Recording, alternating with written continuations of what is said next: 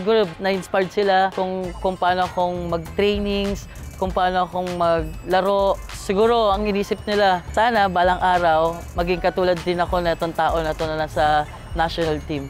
Ako si Lito Ramirez, the first Filipino homegrown rugby player.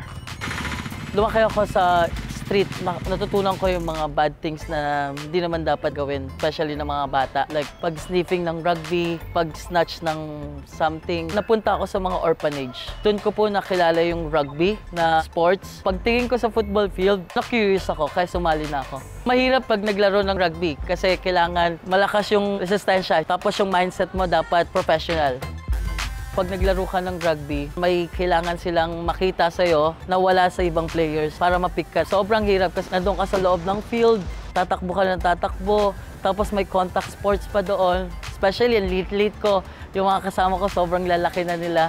Nag-start ako ng training ng Volcanoes. Hindi naman ako selection talaga dun sa, sa camp ng national team. So ang ginawa ko lang, puro ako training, trainings, trainings, trainings. Hanggang mapili ako sa qualifying Olympics last 2015. Nag-develop ako ng, ng purong Pilipino. Siyempre gusto ko purong Pilipino rin ng nakakalaro sa national team at ibang level. 2012, nagtuturo na ako sa mga ibang foundations, orphanage. Dinevelop ko and dinevelop yung sports hanggang magkaroon ako ng isang barangay. Sana maglaro sila ng rugby para maging responsible naman sila at tumulong sa mga mga magulang nila. Huwag na huwag kayong susuko sa hirap ng buhay. Kung may mga problema man tayo, hindi tayo pinapabayaan ng Diyos. Hindi hadlang ang kahirapan para magsumikap tayo sa ating mga pangarap.